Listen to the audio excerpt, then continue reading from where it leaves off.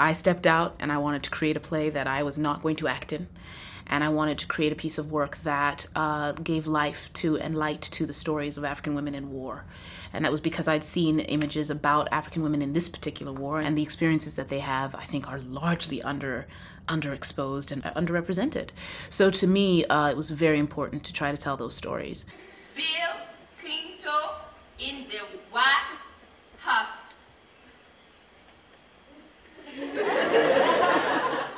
So Eclipsed was actually my second play. It was creating a linguistic style that I had never been around.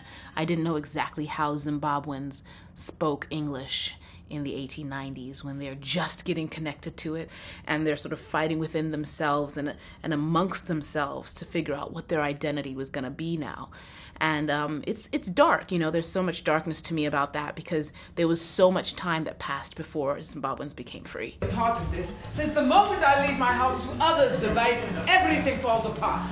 Something borrowed, something blue. So my next play uh, is Familiar. And Familiar uh, just finished off Broadway. It was also at Yale Repertory. And that um, was the first play I created about my people. I'm always creating about people other than myself. And I always used to say, dudes, you don't need a play about me. I'm not one of those people who's going to write a one woman show about my life. It's just not my thing. So um, the idea of Familiar was really I'm going to delve deeply into my family, into a family dynamic of Africans living in the United States, dealing with the weekend of their daughter's wedding. But I'm going to find a familiar thread be you Greek American, be you Irish Catholic, I don't care. I wanted everyone to see their family in there somewhere.